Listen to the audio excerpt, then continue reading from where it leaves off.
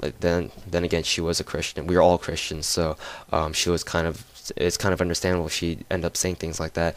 But it it ended up being that she ended up okay.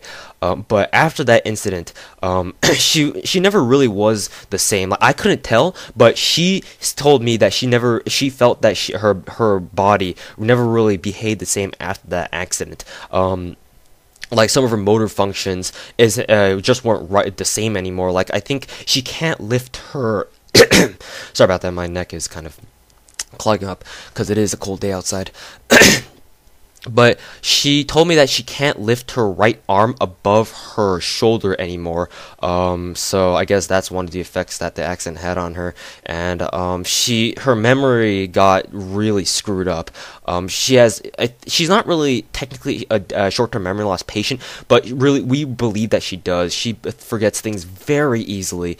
And uh, before she forgot things, yeah, but it, they, they were like minor things. But now she's forgetting like really important stuff, like to pass her to her own email account, like God, how do you forget that? But um, these days I kind sometimes I have it's these days it's not as bad, but after right immediately after the accident when she got home from the ER, um, she would forget lots of things. It was really frustrating on all of us, especially on me because I didn't really know what happened. All I knew was that uh, she got into some accident, but I didn't know how badly she was hurt. So I didn't because I didn't understand. I was getting really mad at her, saying like, "Oh, why are you? Why are you forgetting things like this? Why are you forgetting like this? You're forgetting your email. Uh, you're forgetting the password to your own email." Like I was really bashing on her, not knowing what kind of pain she went through. And now, now kind of looking back, I don't really regret it because I don't my cre- my personal creed is not to regret anything, but I definitely do feel really bad that I treated her like that without knowing what kind of things that she went through. And even after all that, even even though it was technically my brother's fault and he knows it, he knows that it was his fault for running the car like that for driving recklessly in a hazardous weather uh, condition but my mom never my mom never blamed him he she never holds anything against my older brother even though he was the reason why my my mom suffered the way she did that day on that accident. She never raised a word about like, oh, why did you have to do this uh, to me? Why did you have to do this to me, David? Because uh, David is the um, the name of my older brother. Why did you have to do this to me, David? She never said that, and I, of course, that's kind of like the filial. That's kind of like the uh, not the filial, but that's kind of like the kind of the parents' love that you know I've seen in families. But personally, how do I say that? How do I forgive someone like that? Really? I mean, to her, it was nothing all she had to for her personally all she had to deal with was that the pain from the accident like from her injuries and the, all the consequences that came after it. How do i how do i personally you know how do i how do i do something like that? It it just boggles my mind. How do i how do i it's it's just out of my it's just out of my um, powers and my control. How do i forgive someone that easily it's it's it's truly amazing if I think about what my mom had to go through. She had to give birth to me uh, when um when she was pretty much unfit to uh, give birth because she was really old by, uh, at that time. I think she was like 30, like her mid 30s uh, when she gave birth to me. Also, she had to deal with the birth uh, the death of my technically my older my older sibling between me and my older brother um, that I have right now. Um, she had to deal with the death of that child. Also, she had to deal with both her sons bullshit over the years as she was raising them up, including me. Also, another the one last thing that I want to talk about mom was that she also had another near death incident where um ironically enough, it was to treat the injuries and like the uh, the the effects that the accident had on her. A year later, or like sometime later, a couple years or a year later, um, she went to like um, she went to like a what do you call those in uh, English? she went to like a, a medicinal like an herbal me- medicine maker like and and so your some of you asian guys would know what i'm trying to talk about or all of you asian guys should know what i'm talking about.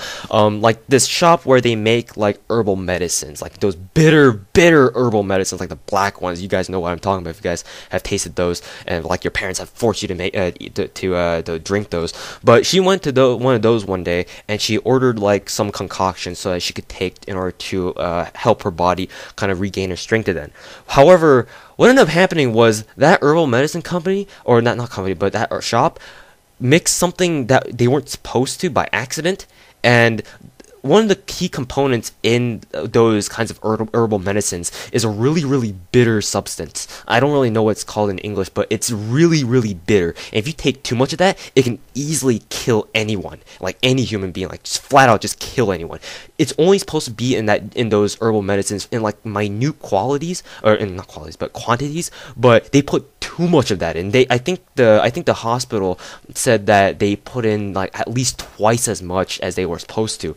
And um, in the middle of the night one day, my mom kind of got up and said, uh, told her, told her, uh, told her husband, my dad, said, saying, uh, "Honey, I'm I'm feeling really really sick right now." So she went to the bathroom, tried tried to purging herself for lack of a better term but she couldn't really she couldn't really get rid of the the pain. And all of a sudden she her body got started according to her anyway her body started really heating up. She felt really really uncomfortable. And soon she started feeling really nauseated. She she she threw up during the night i think like 3 times. And she tried going back to bed and drinking lots of water but nothing really worked for her. So my dad um partly out of like just like just to just just to make you be quiet. But uh, no i'm just kidding. Um in the middle of the night, my dad drove her down to the ER, and she checked into uh, to um, the hospital again, and they determined that she was she was she actually got poisoned. She was out. She was flat.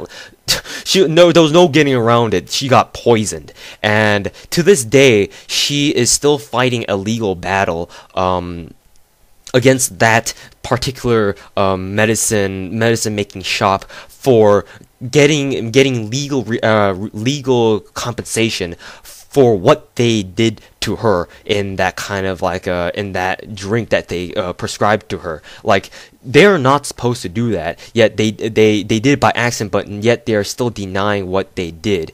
And it's it's given a whole nother world of hell for my mother.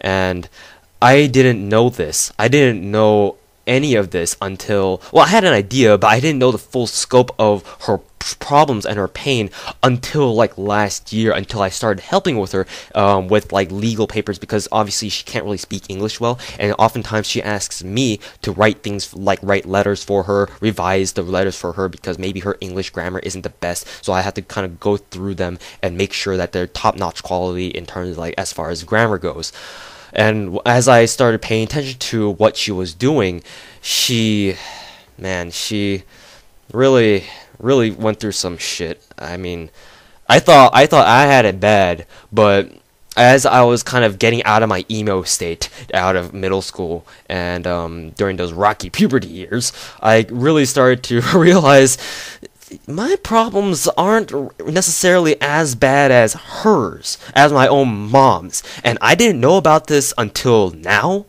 I didn't know about this until now. Like, holy fucking crap. I didn't know about this until right the fuck now.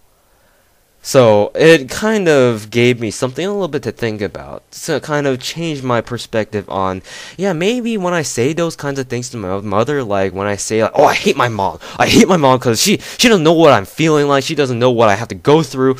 Maybe I should kind of reconsider what I'm going through, what I'm saying. So. yeah, I think this uh, should effectively conclude um, this video. I don't know because obviously, as I'm looking at this timer right now, I'm been I've been talking for like 31 minutes now. So I don't know if this uh, this video will be split into two parts or if I'm gonna just mash them all together. I'm probably gonna end up making splitting this in two parts, but. Anyways, guys, I really hope you guys have enjoyed this commentary. Um, I don't really know if you guys are. I don't know if my audience is really the audience to um, kind of be appropriate for this kind of topic. But because today was Mother's Day, I do want to just urge you guys, all of you, if you do have your mother still with you, just just at least at least show some respect at least show a little bit of love to your moms because maybe maybe you might be in my situation or someone else's situation where uh, situations where you might have gone through some things where you might not you know talk to your mothers again, or flat out you might ever you might not even be able to talk to your moms again. So this is just a little commentary for you guys to consider.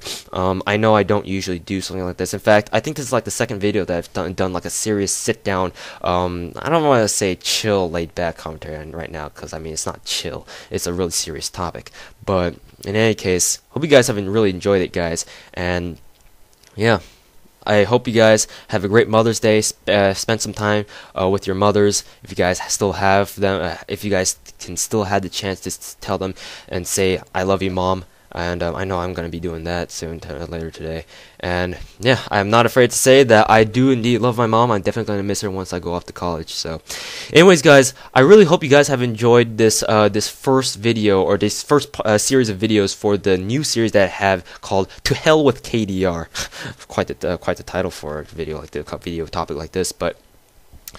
Anyways, guys, thanks for watching. I really do hope that you do give this video some love. I, I have never asked you guys to kind of give this video like likes or something like that, but for the sake of Mother's Day, for the sake of those of uh, those you guys who do not have mothers, or if you have mothers, if you are fortunate enough to still know you still know your mothers to this day, then just just show some video some love and make sure if you don't do that then at least go to your mothers if you know them or not. Even if they are not here with you guys if if they've passed away if they're not here with you guys anymore at least take some time to think about uh, your your deceased mothers and say that you miss them and you kind of wish that they they are still here with you with you guys so anyways guys I really thank you guys for watching and I'll see you guys later my name is Agent Psycho aka Touhou Sniper 98 and I am out. Thanks for watching, guys, and have a great Mother's Day.